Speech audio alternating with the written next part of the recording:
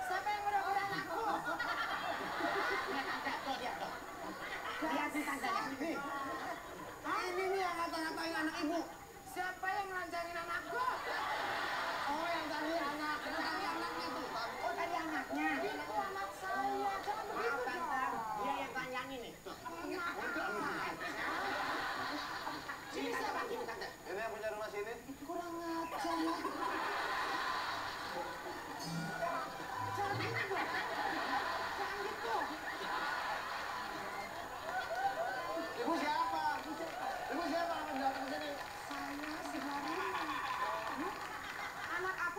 main ke sini, hmm?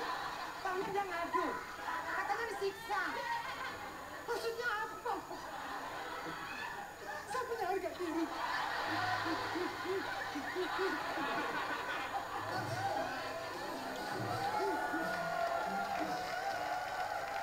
Udah, sabar bu, sabar. Tolong dong, anak aku juga punya harga diri. Hmm? Jangan gitu, Bu.